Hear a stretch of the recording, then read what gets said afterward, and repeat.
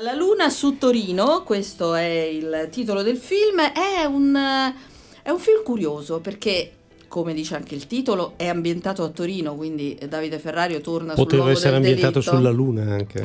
sì, anche- chissà da là come si vede Torino, se si vede bene la mole e così via. Ed è un, eh, un film in cui i luoghi e il concetto forse di luogo sono molto importanti, Davide, perché... eh, perché ra- intanto perché racconti una Torino, insomma, io Torino la frequento grazie al Festival di Torino spesso e volentieri, come si dice, però c'erano dei luoghi che io non avevo mai visto e, e poi soprattutto io non lo sapevo che era sul 45 parallelo. E da lì che cosa parte? Che riflessione parte? Allora, partiamo da questa cosa del 45 parallelo, che non attraversa solo Torino, ma gran parte della pianura padana. Solo che uno non ci pensa mai, eh, soprattutto al fatto che il 45 parallelo è alla stessa distanza del polo nord dell'equatore. Quindi, senza rendercene conto, noi qua stiamo a metà dell'emisfero nord, a metà del mondo settentrionale. Il che vuol dire tutto e vuol dire niente. Soprattutto quando attraversi uno di questi cartelli che ti indicano che se lì ce ne sono sull'autostrada, per esempio, ti fermi un attimo e ti guardi intorno e vedi la pura pianura padana. Però è proprio, penso che da lì si debba partire, e cioè scoprire l'arcano, il fantastico nei luoghi normali, perché è molto semplice, anche un po' banalotto, prendere un aereo e andare nei posti più esotici a vedere le cose straordinarie.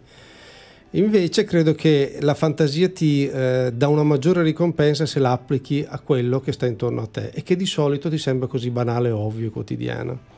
È un'operazione che avevo già fatto in Dopo Mezzanotte qualche anno fa in cui si- la, la Torino che mettevo in scena era soprattutto quella della Mola Antonelliana del Museo del Cinema e Torino apposta, e lì ci torno, è perché è una città che a differenza di altre città italiane eh, che sono come dire indissolubilmente legate alla loro antropologia, cioè è difficile immaginare Roma senza i romani, mentre secondo me è facile immaginare Torino senza i torinesi, cioè Torino è uno spazio, è uno spazio trasparente eh, che può essere utilizzato per essere un'altra città per esempio, ma che ha un'anima nascosta eh, ed è un'anima che ti permette di guardare molto lontano.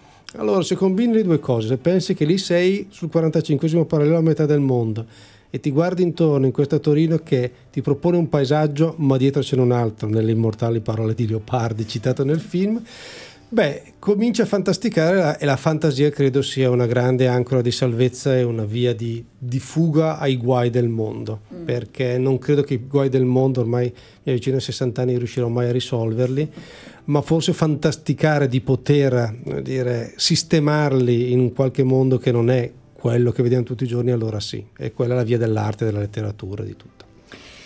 I tre protagonisti di questo film eh, si aggirano per Torino e poi si ritrovano a fine giornata in una casa sulle colline. Uno di questi tre è Eugenio. Eh, sono tre personaggi, non so se, se siete d'accordo, ma eh, guardando il film sembra che siano tre personaggi che restano sempre in equilibrio su questo 45 parallelo.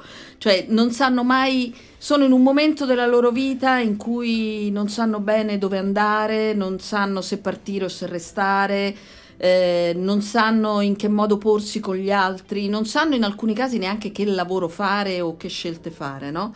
Ehm, Eugenio, tu il personaggio l'hai costruito così? Ve lo siete detto così con, eh, con Davide oppure ci hai messo del tuo? Allora, per quanto riguarda la questione appunto dell'equilibrio di cui stiamo parlando, ecco, il mio personaggio, a differenza degli altri, è uno che da un punto di vista pratico l'equilibrio ce l'ha. Ha sia un lavoro e studia, quindi apparentemente è il più equilibrato, diciamo, quello che sta, sta meglio di tutti. Però effettivamente invece no, perché non ha un equilibrio interiore, quindi non ha un equilibrio dell'anima, non sa eh, non ha una visione, eh, fi- una visione concreta del mondo, non sa a cosa aggrapparsi nella vita e questo si manifesta attraverso appunto la, eh, la sua voglia di, di- di scrivere del mondo perché appunto è come mettere delle basi a dei pensieri che se no non hanno concretezza e anche attraverso eh, la mancanza di un rapporto sentimentale con, eh, con le femmine, con le donne, stabile, ecco, anche nelle amicizie, insomma. E eh, quindi poi lui eh, l'equilibrio, anche se ancora instabile, precario, lo trova più che altro alla fine, con una scelta, eh, una scelta di, eh, di anima, cioè eh, eh, d'amore e verso una persona, verso un'idea di vita anche lasciando quella che apparentemente sarebbe stata una cosa più concreta e più stabile come eh, lo studio, il lavoro, mettendo da parte quindi un apparente equilibrio per cercarne uno concreto attraverso un percorso interiore. Ecco. E personale. E personale, sì. personale. Eh, tra l'altro al tuo personaggio sono affidate alcune scene bellissime del film che sono quelle girate dentro lo zoo, cioè nel rapporto con gli animali. Animali che attraversano questo film, eh, c'è un topo che, che, percorre la casa, c'è una grande tartaruga che forse è più saggia di tutti, Ursus, Ursus che forse è la più saggia di tutti, ci sono dei pinguini. Eh, dei pinguini, tra l'altro, che vengono tenuti lontani dalle faine in che modo, Davide? È un peccato, vabbè, però insomma è vero, è successo che quando siamo andati in questo, questo non è uno zoo perché ormai non si politicamente non si scorretta, in realtà davvero si chiama, è un bioparco, si chiama Zoom e che sta a Cumiana sul 45 parallelo esattamente, a pochi chilometri da Torino e facendo i sopralluoghi per una scena notturna e diciamo una cosa poi non abbiamo detto su questo film è una commedia perché stiamo usando parole molto importanti ma no, no, no, tutto, è tutto è, è in chiave di leggerezza insomma sento un rumore di fondo strano era mezzanotte c'era una roba accesa degli altoparlanti ma perché cos'è queste cose e i guardiani lì sui veterinari che c'erano dice ah no ma questo li teniamo è radio radicale e dice vabbè ma perché ascoltate radio radicale a mezzanotte in un bioparco Dice no, perché serve per tenere lontane le faine e le volpi dai pinguini. I colleghi di Radio Radicale non saranno contenti. Beh, eh. però c'è una logica, attenzione, perché infatti gli ho chiesto ma come mai Radio Radicale di tutto? Capisco l'idea di tenere accesa una radio per spaventare i, i, dire, i predatori, ma perché quella? Dice, perché è, è, l'unica radio che parla sempre e siccome è la voce umana che tiene distante i, i predatori, insomma c'è questa, c'è questa, immagine straordinaria, trovavo, di, dei pinguini che ascoltavano un dibattito parlamentare. eh, nel film non, c'è un'altra cosa ancora che ci faccia anche più ridere di quella. Ecco. Eh, Davide, in questo film hai messo due elementi che vengono dal, dal tuo cinema pregresso, le mondine e i partigiani. Mm? Oddio, sì, anche qua, mamma mia. Anche qui devo dire in chiave, cioè non, non vi mettete paura, è, è, veramente una commedia e le mondine fanno molto ridere nella scena in cui le hai messe. Sì, sì, eh, io credo che ci siano delle, delle cose che tu fai che non esaurisci con un film o due film, ci sono degli elementi che possono tornare e in questo caso qui mettere in cortocircuito una cosa così apparentemente... Eh, fantasiosa come la Luna su Torino con quell'altra storia lì, quella delle mondine su cui ho fatto un intero film, credo molto bello, che era di madre in figlia. Beh, lo, loro credo che siano eh, a me sono sempre piaciuti i paradossi. Mettere insieme le, queste due atmosfere crea credo un cortocircuito pieno, pieno di energia e anche di molta poesia. Insomma. È un'idea di cinema che penso, insomma, personale, che non vedo tanto applicata in Italia, dove mh, mm, le commedie sono molto più giocate sugli stereotipi sociali che non sull'invenzione di tipi che raccontano altre cose, significano altre. Forse questa è una commedia più, più filosofica o poetica, come ha scritto qualcuno, dove poesia non significa però, credo, melodramma o macerarsi addosso, anzi, credo che il film sia molto veloce e, e, e cerchi di... È davvero un film lunare, in questo senso la luna nel titolo un significato ce l'ha. Poesia, Luna, Leopardi, lo hai citato prima, insomma Leopardi anche come atteggiamento filosofico di vedere l'infinito dalla finestra di casa, è un po' questo. Sì, oggi ho detto una cosa in conferenza stampa, dopo l'ho, l'ho, l'ho chiamata Luciana perché ho detto, ho detto, questo, che secondo me da un certo punto di vista, proviamo a dimenticare il Leopardi che ci insegnano a scuola, ma prendiamo quell'altro Leopardi, quello della, della critica sociale, quello che studiava ai suoi tempi, ne parlava e li metteva in berlina ho detto che, che, che, Leopardi era la Luciana Litizzetto del suo tempo. Poi ho chiamato Luciana per dirgli se lo leggi scri- preparati perché ti sentirai. Ma, eh, ma, è un po' vero, nel senso che ci sono aspetti, eh, alcuni sono anche citati nel film, ci sono delle citazioni molto divertenti di Leopardi. C'era tutta una parte di Giacomo Leopardi che era quella di un uomo che stava lassù, a Recanati a guardare l'infinito, separato dal mondo, ma l'aveva capito perfettamente come andava. E questo aver capito il mondo come va, i suoi guai e non poterci fare niente, perché è la sua condizione che lui espressa in poesia e anche in filosofia, ma credo sia la condizione della modernità.